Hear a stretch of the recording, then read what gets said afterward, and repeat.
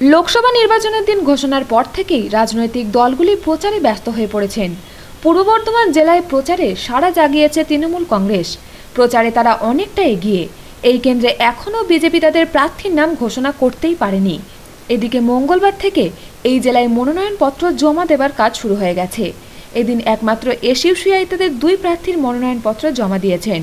দুর্গাপুর বর্ধমান লোকসভা কেন্দ্রে তৃণমূল কংগ্রেস প্রার্থী ডক্টর মমতাজ সঙ্গমিতা এ প্রান্ত থেকে ও প্রান্ত ছুটে বেড়াচ্ছেন।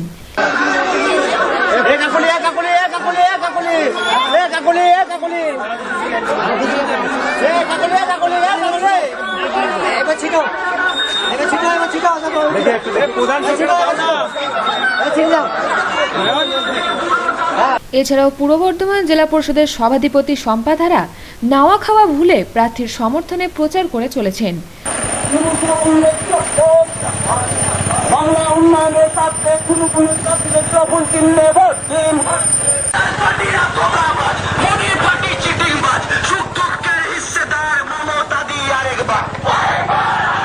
মঙ্গলবার গলসিতে রোড শো করলেন প্রার্থী ডক্টর মমতাজ সংঘমিতা সঙ্গে ছিলেন জেলা পরিষদের সভাধিপতি শম্পা ধারা, বিধায়ক অলোক মাঝি, পূর্ব বর্ধমান জেলার তৃণমূল কংগ্রেসের সাধারণ সম্পাদক কাঞ্চন কাজী সহ অন্যান্য দলীয় নেতৃত্ববর্গ। এদিন শম্পা দেবী জানান, এই কেন্দ্রে বিরোধীদের দেখা পাওয়া যাচ্ছে না। তারাই একতরফাভাবে প্রচার করে চলেছেন। যেভাবে সাধারণ মানুষের প্রত্যেকটা মানুষের জন্য কাজ করেছে, যেভাবে উন্নয়নের জোয়ার বইয়ে দিয়েছে সেই জোয়ার নিয়ে আমরা প্রত্যেকটা ব্লকে, ব্লক থেকে অঞ্চলে আমরা মানুষের স্রোতের সঙ্গে আমরা বয়ে চলেছি এবং প্রার্থী আমাদের সঙ্গে আছে। এখানে তো আমরা ধরতে গেলে বিরোধী শূন্য, যেহেতু আপনারা দেখতেই পাচ্ছেন আমরা এতগুলো ইতিমধ্যে আমরা দুটো, একটা অঞ্চল পরিক্রমা করলাম। বিরোধীদেরকে তো দেখতেই পাচ্ছি না। ওরা তো ময়দানে নেই। তাহলে সেই ক্ষেত্রে আমরা বিরোধীদেরকে কি করে ভাববো বলুন? বিরোধী নেই। ওরা কিসের জন্য থাকবে বলুন? ওরা কি করেছে? সাধারণ মানুষের জন্য ওরা কি কেউ করেছে? কিছুই করেনি। কিন্তু অথচ আমাদের নেত্রী মমতা বন্দ্যোপাধ্যায় কি না করেনি? সাধারণ মানুষের জন্য একবারে উন্নয়নের জোয়ার বইয়ে দিয়েছে। কাঞ্চনবাবু জানান রাজ্যের মুখ্যমন্ত্রী যেভাবে বিভিন্ন প্রকল্পের মধ্য দিয়ে উন্নয়ন করেছেন, তাতে তৃণমূল কংগ্রেস বিপুল ভোটে জয়লাভ করবেন।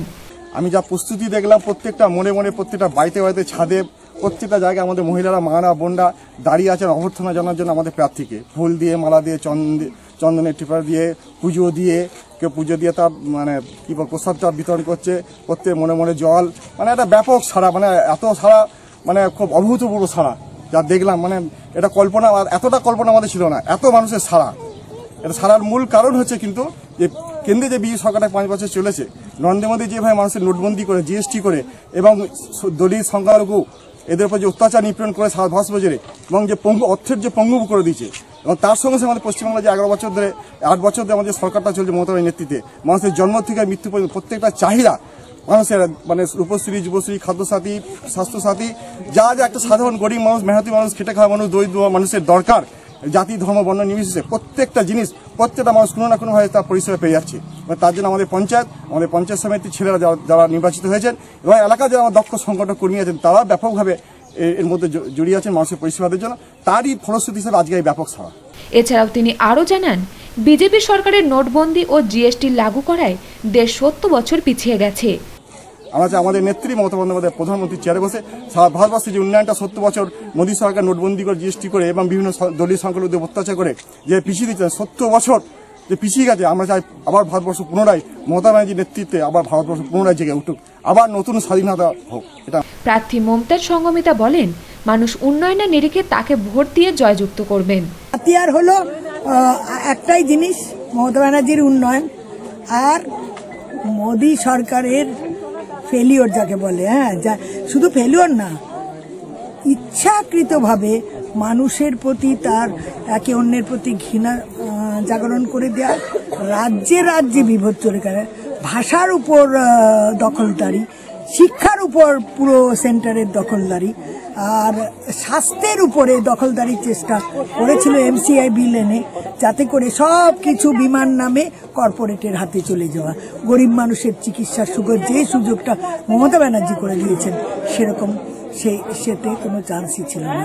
এছাড়াও আমরা জানি যে প্রধান হচ্ছে যে তার স্বৈরাতন্ত্র, তার সাম্প্রদায়িকতাবাদ, যেটা ভারতের সংবিধানের একদম উল্টো। হ্যাঁ সব মানুষ সমান, সকলের সম অধিকার। সেইটা খর্ব করছে, একটা জাতপাতের আগুন লাগিয়ে দিয়ে। হ্যাঁ যে ধরো, প্রত্যেক ধর্মেরই একটা ভালো দিক আছে।